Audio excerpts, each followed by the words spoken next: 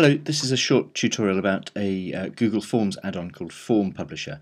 Now, many of you know that I love Google Forms. I think we should use them more than we already do, uh, partly to cut out some of the boring, repetitive tasks that we currently have to do, like marking. However, um, there's one thing that's always been a little bit tricky on forms, particularly when it's the kind of form when you want the students to go back and see their responses maybe a while later, um, maybe for revision, that sort of thing. As the creator or owner of the form, it's quite easy for us to see the responses just using the Responses tab. Um, or you could view the data on a spreadsheet, of course. But it is much harder for the pupils. Um, I guess you could share the spreadsheet with them, but you might not want them to see everyone else's answers. This is a really good solution. You need an add-on to Google Forms called Form Publisher. So I'm here within uh, Forms, and if I click on the three dots here, one of the options is to come down here to add-ons. If you click that, uh, you'll be able to search here for Form Publisher, but in fact this is the one that um, uh, that I want. This is the, the icon that you're looking for. So you just click on that and install. I won't do that now, obviously, because I've um, I've already done that, but it's a very uh, simple process. And what it does is to send an automated summary of their responses to each pupil. Um, it'll send it as a Google Doc or Sheets or Slides um, and you will have a copy of that in your drive as well. It does take a couple of minutes to set up at first but then everything is automated and you don't have to do anything. So once it's installed these are the steps to follow. Number one is to create your form. Now it's important to make sure that all the questions are unique um, even if you want to repeat a question, make sure there's something to distinguish it, like a, a number. Um, otherwise, Form Publisher will get um, a little bit confused.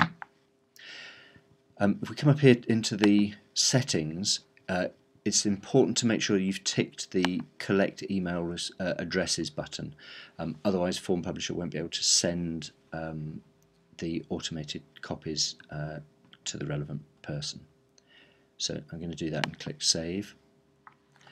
Um, and then you want to click add-ons, which is here. Uh, select that, select Form Publisher, and then Get Started. Um, in a moment, a little box will appear down here, and you can choose the format that you want to send to respondents. Um, I'm going to use docs, but you can see you could choose sheets or slides or, or even your own template if you wanted. So I'm going to click on docs, uh, whirs around for a moment,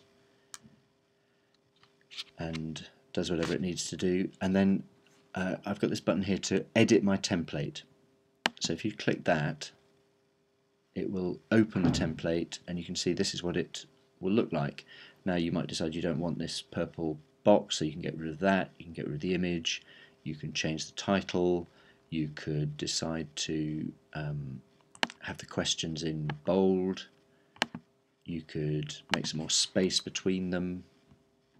Whatever you want Okay, the important thing is that you don't change anything inside the double arrows.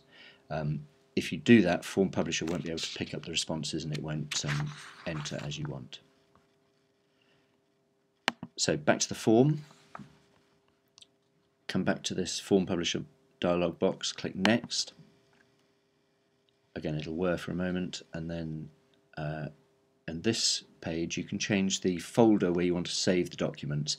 Um, that you can do that here using the, the change button. Um, I have to admit I tend to leave this and then rename it in Drive later if I um, if I need to. Um, one thing I do tend to do is to change the title of the files. So by default it will just add an increment. So it'll be the uh, the title of it and then uh, it'll just add one number. Um, but uh, I tend to just replace that with, if I've used a what is your name question, I tend to highlight that and then just copy that into this place here. Um, it just makes it a little bit easier to find the um, uh, find the file later when you when you need to.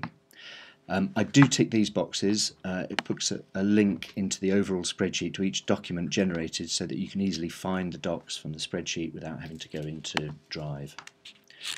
And then the last stage, um, this is where you uh, choose the format that goes back to the um, to the respondent. So you can choose here whether you want them to be able to have editing, view or comment rights for the document. Um, I have to admit I tend to leave it, to set this to comment rights. Um, you can also choose to here if you want a PDF as well as the uh, doc on your Google Drive. Uh, it seems overkill to me, but you might want one for some reason. Um, and with this button here, the edit email, you can customize the email sent to notify respondents that the doc has been sent to the drive. Uh, I tend not to bother with this, the email is fine as it is. And then click done. And that's it. Um, so you can see it's not absolutely effortless and it will take a couple of times to get used to it um, but when you do get used to it it is pretty quick to set up um, and it's a whole lot quicker than having to set up separate documents, send screenshots, etc., give permissions to pupils to access the forms. It, it, it just makes that whole business um, of being able to look back at your answers if you're a pupil that much easier.